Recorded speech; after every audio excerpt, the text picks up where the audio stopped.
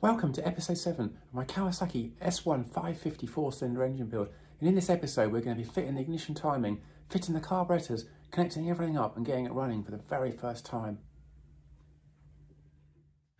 I'm really pleased how this engine's turned out so far. It kicks over with really good compression, so the next thing I need to do is fit four sets of contact breaker points, and to do this, I need to make a new stator plate.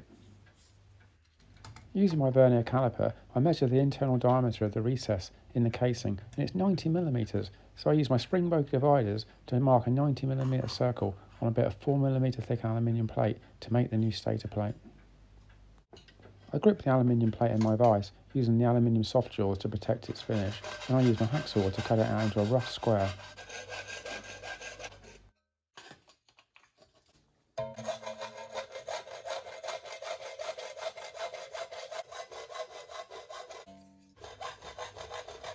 With the square cut out, the next thing I need to do is grip the piece in the vise and cut off the corners, getting as close to the line as I can.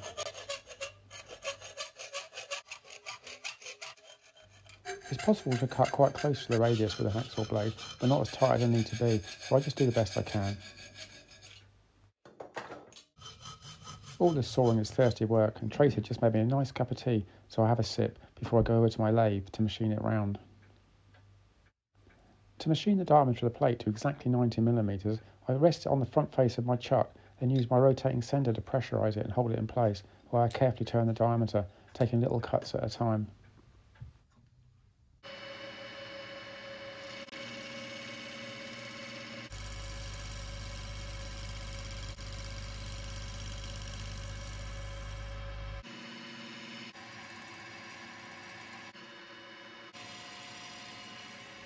After several cuts, the aluminium plate is nice and round, so I check it with my vernier caliper, and it's 92 millimeters, so I've got a couple of millimeters to remove, so I take a few more cuts, and then when I check it, it's just perfect.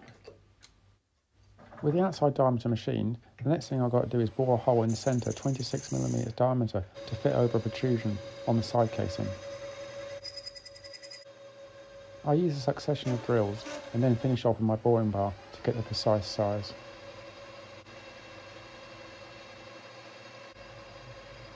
With the machining complete and the bore size checked, I offer it up to the engine and it fits just perfect. It slides on really nice, so I'm really pleased with that. So the next thing I'm going to do is fit the four sets of contact breaker points.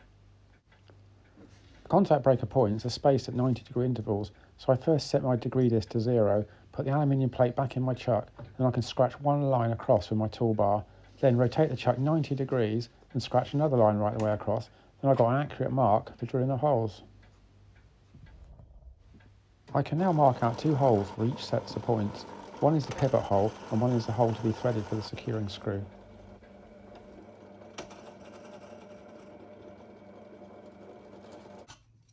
With all the holes drilled, I tap out the four outer holes with an M4 tap.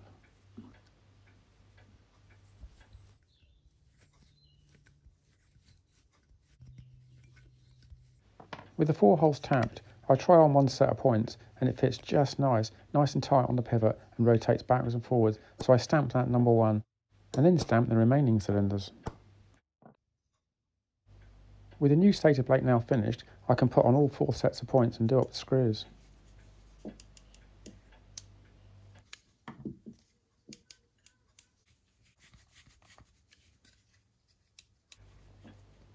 Well, I'm really pleased with that. Let's see if it fits on the engine. And it snaps on nicely, engaging in the recess and rotates backwards and forwards really smooth. So now I can do up the two screws to hold it in place. I kick over the engine a couple of times and the points open and close perfect. The gaps are a bit big, but I'll be setting those later on with the feeler gauge. The next thing I need to do is cut the four wires down to length and solder them onto the points. So first of all, I make some brass tabs. I'm using some half millimetre thick brass sheet to make these solder tabs. These go onto the points for the wire to attach to.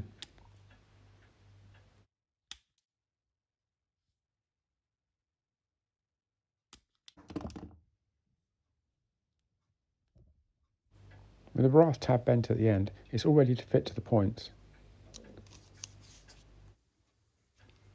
With the brass tab fitted, I can now solder on the wire.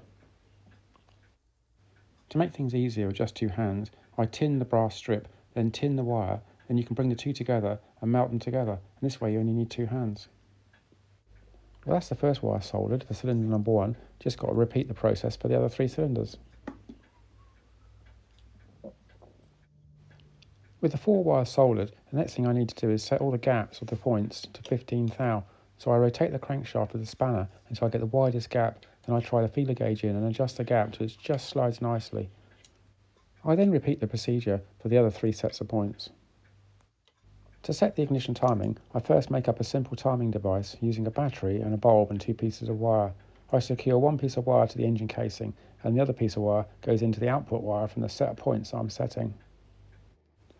So now, when I rotate the crankshaft with a spanner, at the precise moment the points open, the light goes out and all I have to do is set that position to 2.5 millimeters before top dead center with a DTI. I rotate the engine back and forth to get the highest possible reading on the DTI, then set it to zero, and then rotate the engine backwards until I get to 2.5 millimeters before top dead center. At this point, the light should just go out. With cylinder 1 timed up, I then repeat the process for cylinders 2, 3 and 4. With the timing complete, I can now use four ignition coils to connect up to the points to see if it sparks. I just rest the coils on the back of the engine for now. I'll make a bracket up later on. Then I connect up the four wires that go down to the contact breaker points. Then there's a positive wire and a negative wire that go to the battery. I then remove the four spark plugs, connect them up to the spark plug caps, and kick the engine over and watch the sparks. And they were perfect, really big sparks. I was well pleased with that. With the ignition sorted, the next thing I'm going to be looking at is the four carburetors. These carburetors are getting on for 45 years old. I don't know what state they're going to be inside. So the first thing I'm going to do is remove the float bowls, take off the bottoms and have a look. Put all the aluminium bits in one tin and the brass bits in another tin for cleaning. The float bowl screws spin out freely, but the float bowls themselves are stuck hard and needed a fair bit of persuasion to come off. But this one is remarkably nice inside. I was really pleased with that. The second carburetor was a totally different story. I took off the float bowl and it was full of white powder and it really smelt horrible and it just fell out all over my hand. But actually underneath the white powder, it still looks salvageable, but we'll find out more when I take it completely apart. The third carburetor had like a coating of white deposits, but nowhere near as bad as the second carburetor. I think that one will clean up just perfect. And the last one was like brand new. I was totally shocked. It's like it had never been run. With the float bowls removed, I can start stripping down the carburetors, first removing the main jets, then the floats. I decided to strip the cleanest carburetor first, it should just come apart easily, with no problems. Even the fuel cut-off valve was mint. I think this carburetor would just worked if I put it on the engine, but anyway, it's best to strip it down to clean it, just to make sure. The gasket is really hard and brittle, but I'll be making new ones.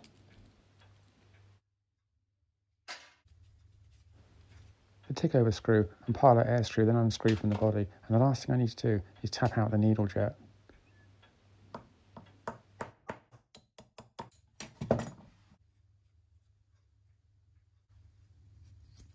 With the first carburetor stripped, I then use my garage vacuum cleaner to suck up all that powdery mess. Don't ever be tempted to use the one out of the house, it'll make it proper smell. I decided to tackle the worst carburetor next. It was really badly seized up, so I put some penetrating oil on the pivot and managed to wiggle that free after a bit of persuasion. Then, very gently tap from each side with a little pin punch until the pin gradually starts to move. It's really important to be careful at this stage, otherwise you could snap off the aluminium posts. Well, that's the hardest bit done now, and I'm so relieved I got that pin out in one piece. So now we can continue with the strip. The floats themselves look in nice condition, They'll clean up nicely. And the petrol cut-off valve was also quite corroded, but that would also clean up nicely. I think the white powder is a result of water getting into the carburetors and oxidising the surface of the aluminium, but the brass itself is in really nice condition and not damaged at all. Just as I thought I was home and dry, I went to remove the choke plunger and it was jammed in solid. And these are really fragile and you can snap off the tangs if you try and twist them too much. So you put a bit of heat into the body with a blowtorch and I dripped in some penetrating oil till it soaked down the side and bubbled. Then, with a bit more heat, I could see the oil soaking away down the side of the plunger, and then it caught fire, but I soon put that out with my finger. The plunger was still not budging, so I gave it a tap with a pin punch, a very gentle tap with a light hammer, and this sometimes breaks the, the actual bond of the corrosion, and it did, and it started to twist straight away, and I was able to pull it out with some pliers, and it was in a real sorry state, I think it'll clean up. With all the carburetors stripped, I'll take them out into the garden to clean them up. I'll be using some special acids, so it's best to do it in an outside well ventilated area. I'm going to be cleaning up all the brass parts using a solution that clockmakers use to clean brass gears. It's like an acidic solution. You pour it into a container, then drop the parts in, leave it for about half an hour, and they come up gleaming like brand new. Totally amazing. With the brass bits fizzing away nicely, I'm now going to clean the aluminium parts with alloy wheel cleaner. I carefully pour the alloy wheel cleaner into a bucket, then add all the aluminium parts until they're covered with the solution.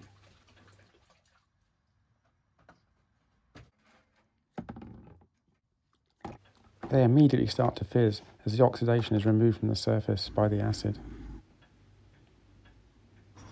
It's really nice working outside in the winter, even though the plants are looking a bit sad for themselves. After about five minutes, the fizzing stops, and that means they're done. So I remove them from the bucket and put them into a tray to rinse off with some water. Then I can tip the solution back into the container for use again in the future.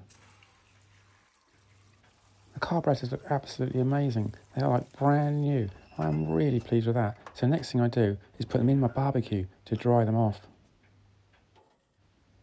It's important to dry them off quickly so that the corrosion doesn't start to occur in the very small passages and drillings, and the barbecue is just the perfect thing to do this. After about five minutes, the aluminium parts are done. I come back through the house and there's no smell of cooking because Tracy's gone shopping for shoes and she'll be gone for hours. I then go back outside to get the brass bits. They've cleaned up amazing, so I rinse them off with a hose and then put those in the barbecue to dry. They don't take very long. The clock cleaning solution really works well on the brass and they really do look like brand new. With all the parts cleaned and dry, I just need to check that the air feed to the emulsification tube is clear. It's a very small hole, and I just check it with a jet pricker. Yep, that's okay. I check all four carburetors just to make sure I then use the airline to blow out the other drillings. When everything's clear, I can start assembly. And The first thing I put in is a needle jet, making sure the hole lines up with the rear of the carburetor. This just slides in nicely. As the needle jet slides down through the carburetor body, it has to line up with a little peg in the side. This holds it in the correct position. The brass washer and main jet can now be fitted. With the main jet tightened with a screwdriver, I pick up the pilot jet and just check that it's clear with my jet prickers. It's okay to do this if you're careful. Some say you shouldn't, but I've always done it. The pilot screws then screws straight into the carburetor body with a screwdriver, and it's really important to make sure the screwdriver is the right size for the slot, or you can sometimes damage them and you can't get them out. The next thing I fit is a petrol cut-off valve. This just screws into the carburetor body.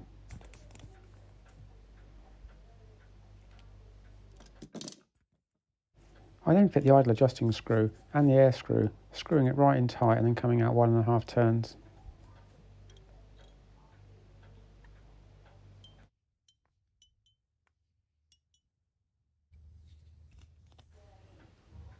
Fuel cut-off needle drops into the cut-off valve. This is in nice condition, didn't need any work. And now I can put in the pin and the float. And that pushes in just nicely. And it feels great. I then repeat the process with the other three carburetors, bringing them all up to the same stage.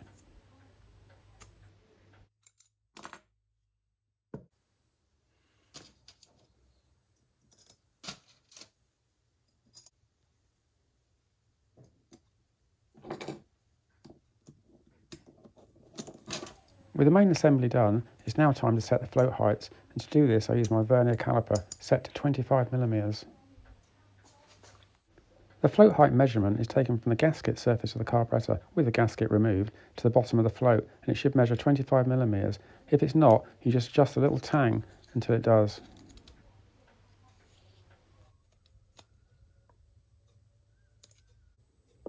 That's better. That's 25 millimeters now. I now fit four new float bowl gaskets that I'd made earlier and then the float bowls themselves and do up the four screws.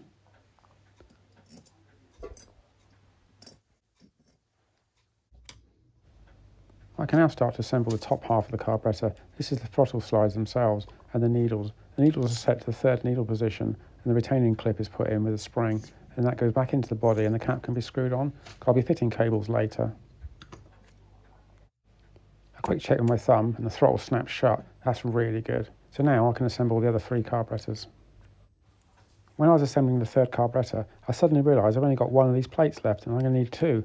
So I thought I can make a new one because they're really hard to find. So I got a bit of thin brass, cut out a circle with my tin snips roughly. Then I can put it between pressure pads on my lathe to turn the diameter.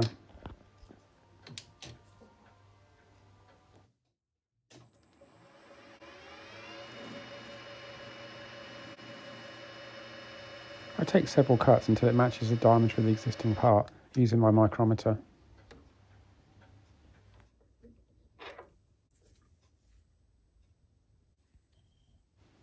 With the diameter matching perfectly, I can now mark it out and cut it out to shape. Making sure I leave extra material for the tang to be bent up.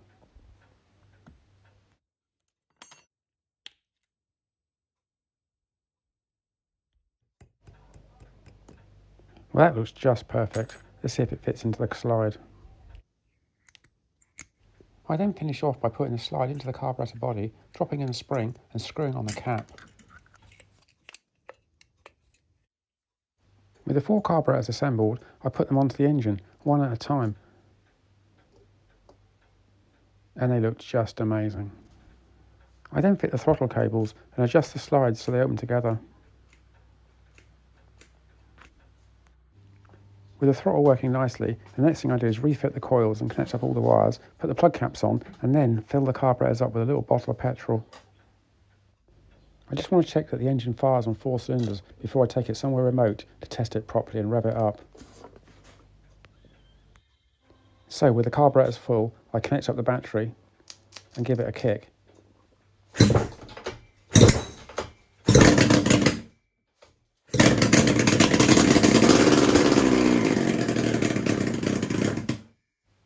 Well, that sounded really promising. So the next thing I'm going to do is connect up the four Delkevic header pipes. These header pipes are actually for a H2C, but they fit perfect on the S3 cylinders and look amazing.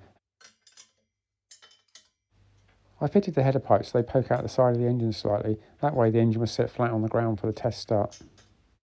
My friend Henry's got a farm in the Cotswolds. He's in the middle of nowhere, just perfect for making some noise, so I load the engine to my pickup truck and drive over. Okay, this is it, troops.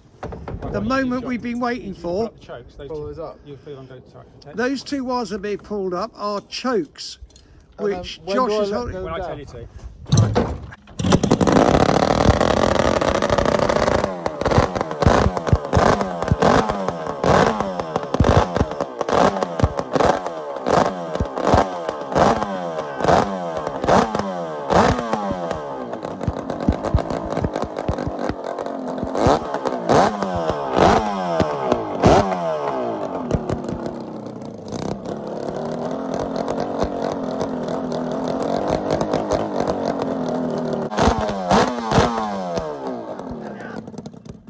Stop it! God Almighty!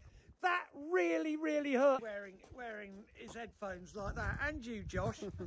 I tell you what, I need a week off. That's hear it? incredible. What do you reckon now? Really, really good. It's so smooth. No vibrations at all.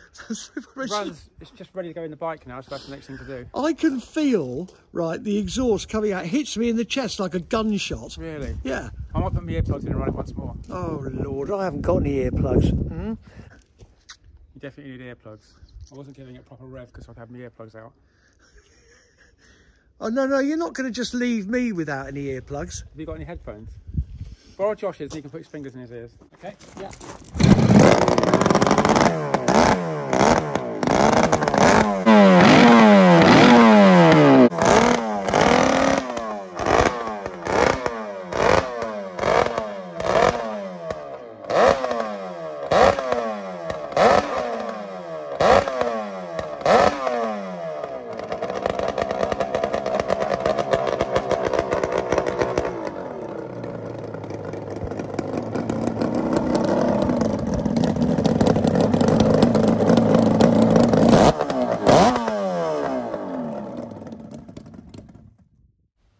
It's so peaceful in the Cotswolds. The sheep are grazing on the grass, and my Kawasaki engine is back in the back of my pickup truck, being really quiet on the drive home.